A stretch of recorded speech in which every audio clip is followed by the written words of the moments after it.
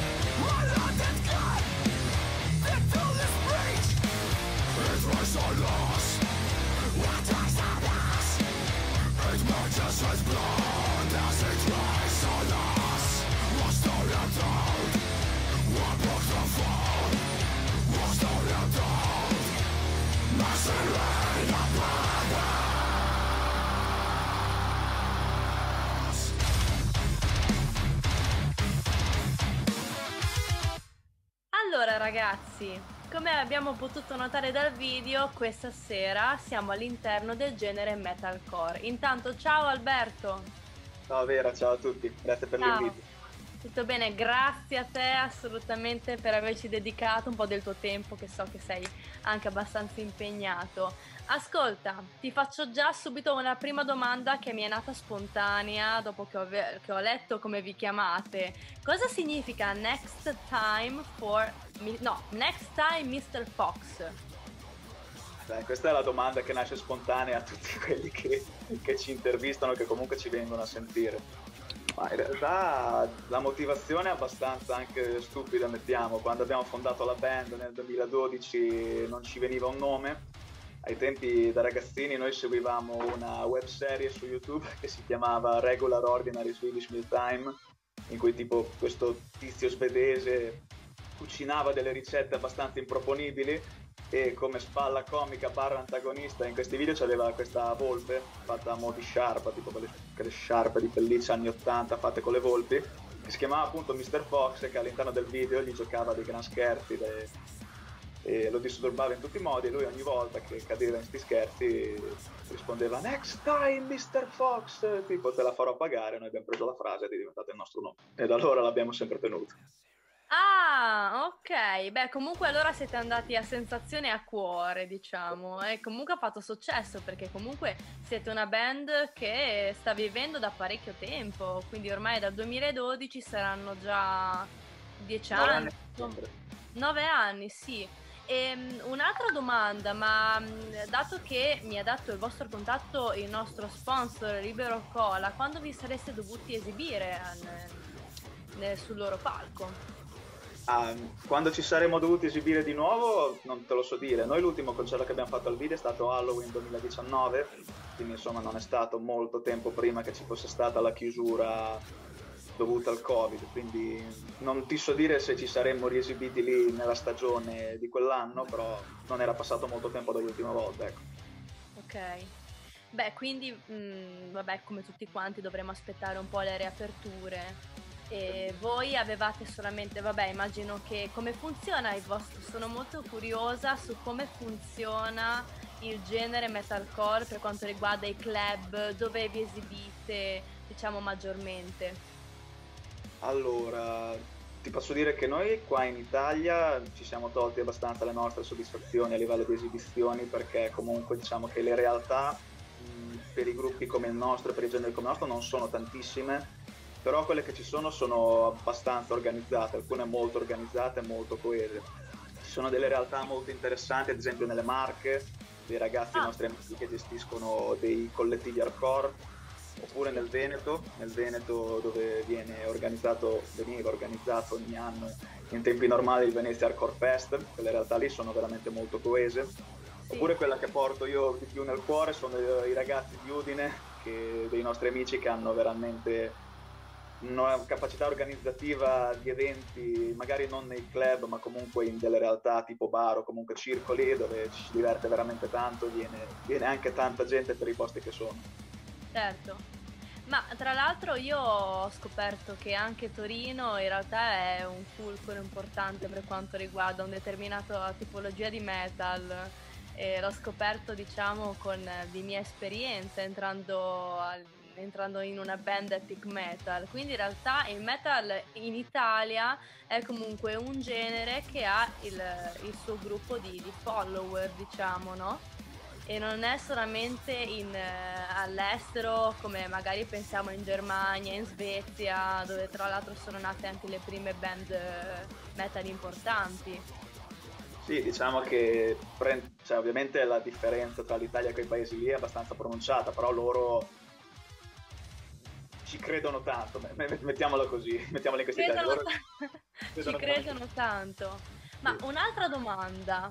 Intanto, il, nel, vostro, nel vostro diciamo, sound ho letto che utilizzate diciamo, più influenze metal, quindi dal progressivo al jet, o avete una, delle, una caratteristica di suono predominante comunque all'interno del vostro genere? Cioè, Preferite delle sonorità particolari rispetto a delle altre?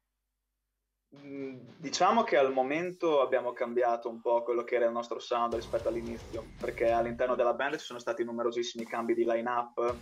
Sì. Mettiamo quasi uno all'anno da quando esiste la band per motivi insomma non di, non di litigio vari, ma semplicemente per cambi di gente che aveva altri interessi. Quindi con tutti questi cambi di line-up è cambiato molto anche il nostro genere. Se all'inizio, ad esempio, eravamo veramente metalcore spicciolo, diciamo, sì. ci siamo evoluti prima più verso il deathcore, diciamo, col nostro ultimo lavoro che era Sunken City, e adesso invece siamo, abbiamo virato più sull'hardcore, puro e semplice quindi qualificarci, ad esempio in, un, in, un'intervista che avevamo rilasciato un anno e mezzo fa, ci avevano definito come hardcore metal.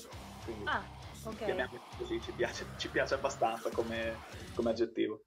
Comunque, diciamo, come, come, tipologia, come concept nei vostri brani eh, riguarda sempre diciamo, l'aspetto psicologico delle persone perché ho letto una cosa che mi è piaciuta moltissimo di voi che vi considerate una grande famiglia e che avete descritto in musica dei, dei, dei, un vostro cammino più che spirituale, mi viene da dire di vita. Sì, diciamo che, diciamo che il genere comunque non ci impone, cioè ci impone anche per le sonorità di non, di non parlare dei boschetti e di cose allegre. Boschetti e cose allegre, sì, immaginavo. l'ultimo album, Sunken City, sì, diciamo che in maniera molto romanzata, in maniera molto musicata, avevamo messo insieme quelli che erano stati dei nostri avvenimenti personali che ci hanno accomunato anche nella sfortuna, mettiamo più che altro nella sfortuna. Certo. Adesso diciamo che con i prossimi lavori ci siamo assestati su un altro tipo di argomenti che spero che presto avrete l'occasione di, di vedere e di ascoltare, insomma. Quindi non parliamo dell'ultimo progetto perché sarà una sorpresa per il sì, prossimo anno. A breve si spera, si spera molto a breve. Dai, magari verso maggio, giugno, come l'anno scorso, luglio, quando si potrà tornare a suonare, no? Sì, speriamo, dai. Speriamo, speriamo, insomma, teniamoci ottimisti il più possibile perché ormai qui la situazione cambia ogni giorno, quindi... È vero, però io... Alberto, spero tanto di vederti nel palco del Vidia, così ci potremo conoscere di persona ti ringrazio per aver partecipato a Vera Rubrica. Grazie a te, Vera, veramente grazie per averci concesso questo, per averci, averci concesso questo spazio. Grazie infinite ragazze e niente, alla prossima.